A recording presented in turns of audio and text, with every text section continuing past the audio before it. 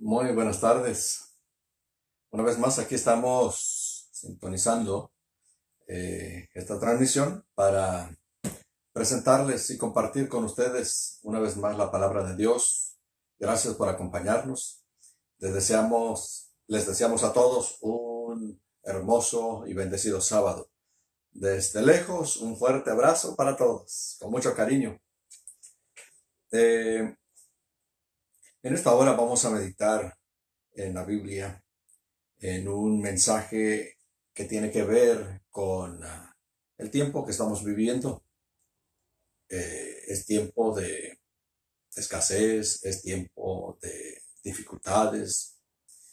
Eh, mucha gente ha perdido trabajo o mucha gente ha sido descansada.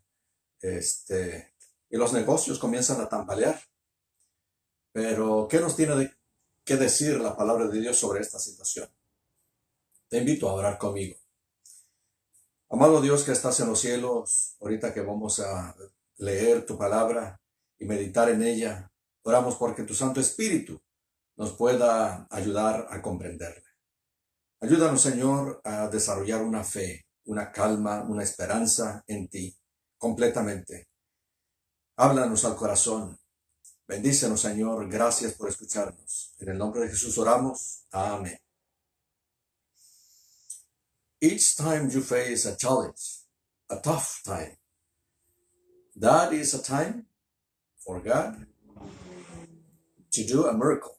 It's a, a chance for you to grow.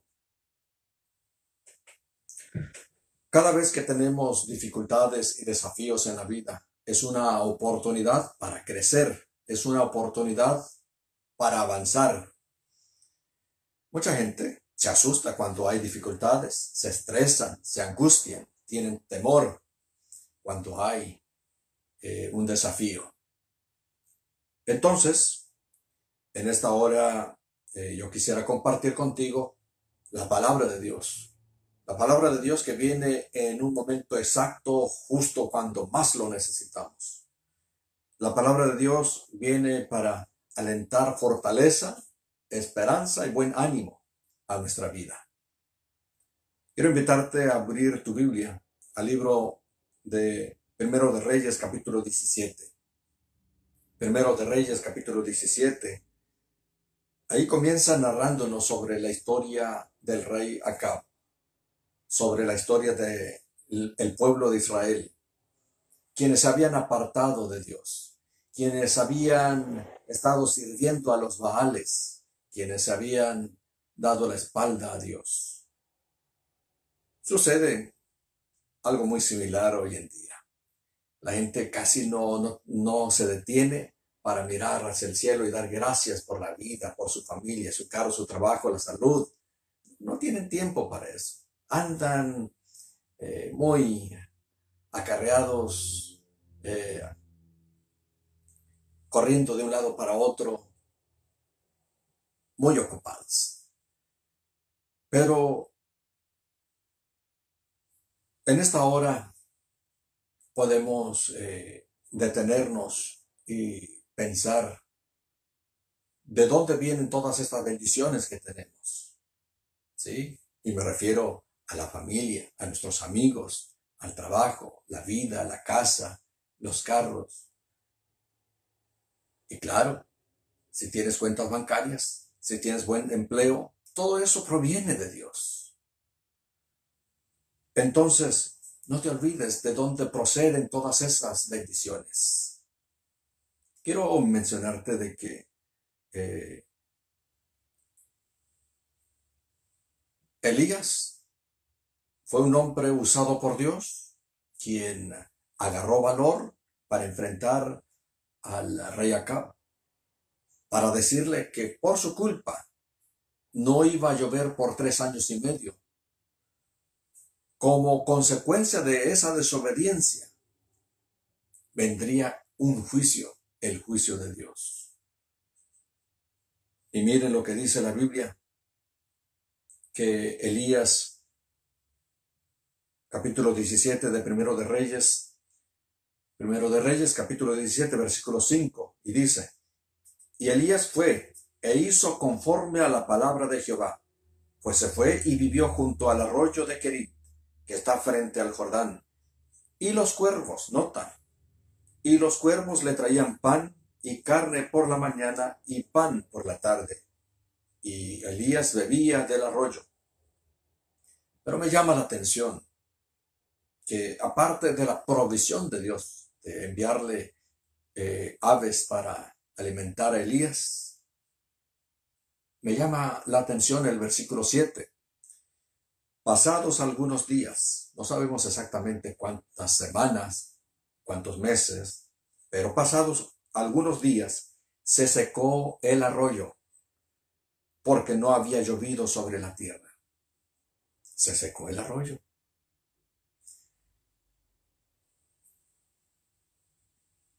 Hay tiempos que vivimos tiempos de abundancia y también tienen tiempos de escasez. Tiempo cuando conseguimos buen empleo, tiempo también cuando hay una transición, un cambio de empleo. Pero no te asustes cuando hay un cambio. Siempre es para un bien. Lo dice aquí el versículo 8. Vino luego a Elías palabra de Jehová ¿sí? En estos momentos, cuando hay dificultades económicos, cuando las bolsas de valores se deploran, dice, vino luego a él palabra de Jehová. Lo que necesitamos es palabra de Dios, la fuente más certera, más segura, más firme, más sólida, porque de ella proviene la esperanza, la fortaleza, porque ella trae vida, trae armonía, tanto al corazón como al alma y al hogar, porque nos une, porque nos mantiene más cercas el uno, uno del otro. Entonces, si seguimos leyendo, en el versículo 9, la palabra de Dios dice, levántate, le dice Dios, levántate. La palabra levántate eh, podemos entenderla como dejar de estar cómodo y accionar, estar en movimiento. Levantarse es avanzar, es crecer, es mirar hacia el futuro. Levántate, le dice el Señor, y ve a Zarepta de Sidón, y habita allí, quédate allí. He aquí, dice el Señor, yo he dado orden allí a una mujer viuda que te sustente. Esto es poderoso. Dios le dice, mira, allá en Sidón vas a, vas a encontrar a una persona, a una mujer viuda. Me llama la atención sobre la vida de esta viuda.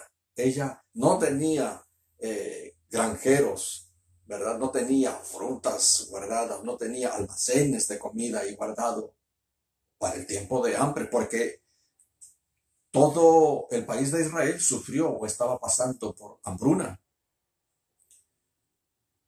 Y entonces Dios le dice, mira, levántate, es hora de actuar, es hora de avanzar, es hora de mirar a Dios por fe, es hora de abrazar a Dios con firmeza, es hora de creerle, es hora de vivir su palabra en nuestra vida cada día.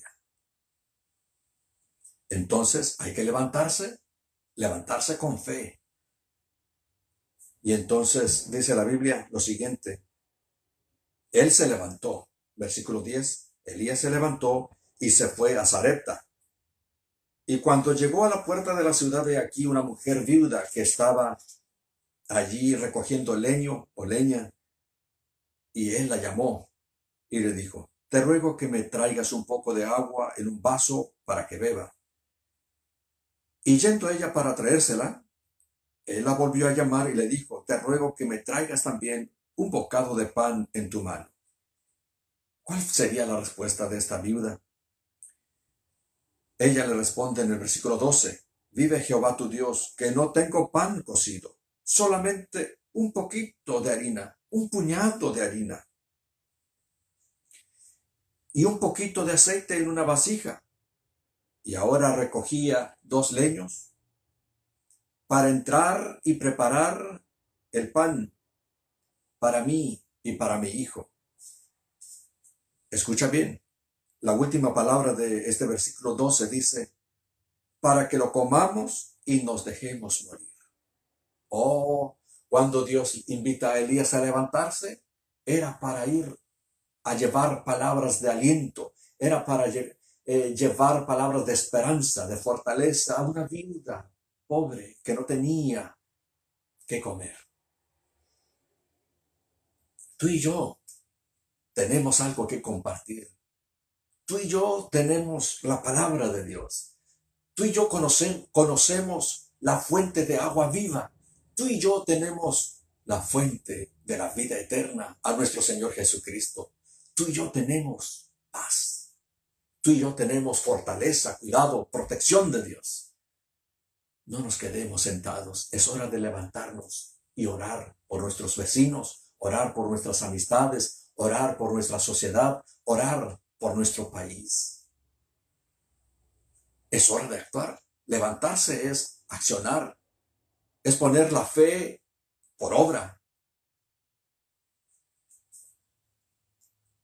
¿Aceptarás la invitación de Dios para levantarte en esta hora? ¿Pondrás en acción tu fe? ¿Avanzarás en los proyectos que Dios tiene para tu vida? No tengas temor. No vivas eh, una vida angustiada o preocupada. Confía en el Señor. Entrégate al Señor en este momento. Sigo leyendo la palabra de Dios cuando dice, cuando ella responde que no tenía pan, no tenía harina, no tenía más que un poquito de, ¿verdad?, de aceite para cocinar este con el pan que iba a ser el último panecito y el último bocado. Elías le responde, no tengas temor, no tengas temor. La palabra de Dios continúa diciéndole a esta señora que Dios hará provisión. Dios hará provisión para ti también. Dios te cuidará en este tiempo de angustia, en este tiempo de dolor, en este tiempo difícil. Confía.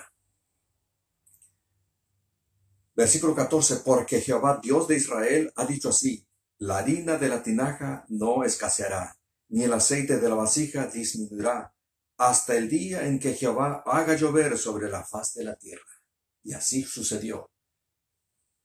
Durante todo ese tiempo, de tres años y medio, no estamos hablando de una semana, dos semanas, tres semanas de escasez, no, fueron tres años y medio. Pero durante todo ese tiempo, Elías, la viuda y el hijo de la viuda tuvieron pan, tuvieron alimento abundante. Dios es capaz de usar aves como los cuervos para alimentar a Elías. Dios también puede usar a tus propios amigos para ayudarte, para alimentarte. Entonces, si Dios tiene la solución, ¿por qué te preocupas? ¿Por qué te afliges? ¿Por qué estás desesperado? Confía en el Señor. Confiemos en el Señor. Así que, lo otro que sigue es que la viuda se le muere su hijo. Entonces, Dios invita a Elías para levantarse, para llevar palabras de esperanza que la provisión, la comida, Dios iba a hacer todo eso. Dios le iba a proveer tanto a ella para su hija y también que en un momento de dolor, en un momento de prueba, como es el de perder a un ser querido, Dios envió a Elías. ¿Sí? Tú y yo somos un Elías en este día. Tú y yo somos el Elías en este tiempo. En este tiempo cuando la gente está asustada, cuando la gente no sabe qué hacer, tú y yo hemos sido llamados para representar el nombre de Dios con fe, con mucha fe, con mucha oración, con mucha entrega y con mucho servicio al Señor. Así que Dice la Biblia que cuando eh, la viuda ve a su hijo, ella queda desconsolada, triste, amargada. se siente ahora solitaria. Pensaba de que ya su esperanza, que verdad era su hijo, se iba, ya se, se había desfallecido. Sin embargo, dice el versículo 24 que Elías oró por este joven. Si leemos el versículo 22, dice, y Jehová oyó la voz de Elías. ¿Qué pasó? Y Jehová escuchó la oración de Elías, versículo 22, y el alma del niño volvió a él y revivió. ¿Sí? Dios resucitó a ese pequeño joven. También puede resucitar tu fe. También puede hacer que tu vida recobre ánimo. También puede hacer resucitar tu hogar, tu familia también puede resucitar tu esperanza. También el Señor puede hacer posible que vivas una vida llena de alegría, de satisfacción, de significado, porque Dios es un Dios vivo, Dios es un Dios de propósito. Solo es cuestión de fe. Acéptalo en esta hora en tu corazón. Deja que Él entre en tu vida. Deje que Él cambie tu manera de pensar, Deja que Él quite tus temores y te llene de paz y de seguridad. ¿Vendrás a Jesús en esta hora? ¿Le quererás al Señor? Quiero orar contigo. Vamos a cerrar los ojos y platicar con Dios. Nuestro Dios y Padre, gracias por tu palabra. Gracias Señor porque estás en este momento con nosotros. Gracias porque nos atientes como si fuéramos la única persona sobre la tierra. Confiamos en ti. El Dios vivo, el Dios de Elías, el Dios que resucita, el Dios de provisión. Oh Dios, gracias porque durante ese periodo de hambruna, tres años y medio, tú estuviste ahí con Elías, tú también estuviste cerca de la viuda y su hijo para proveerles lo necesario. Confiamos en ti, en esta hora te entregamos nuestra voluntad, te entregamos nuestro corazón. Ven, Señor, y sálvanos, sálvanos de nuestros temores, de nuestras angustias, y llénanos de paz y llénanos de abundante fe. Camina con nosotros y pelea nuestras batallas. Gracias porque, Señor, en tu nombre solamente hay victorias. Te alabamos, te exaltamos y lo hacemos en el nombre de Jesús. Amén. Acompáñanos mañana en la transmisión. Vamos a comenzar alrededor de las 10 de la mañana eh, nuestro servicio de escuela sabática y vamos también a, tener eh, la proyección, la transmisión del sermón de las 11 de la mañana en adelante. Eh, y por la tarde, por la tarde, queremos también tener este, programas, a películas cristianas en esta transmisión Queremos tener también una reflexión para despedir el sábado eh, durante la sociedad de jóvenes. Así que no te desconectes. Eh, estate al, pendiente de las transmisiones y acompáñanos. Recibe también la bendición. Comparte esta bendición con tus amistades también.